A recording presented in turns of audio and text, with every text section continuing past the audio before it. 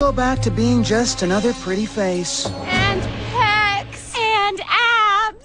And butt. What? I can't go back to my old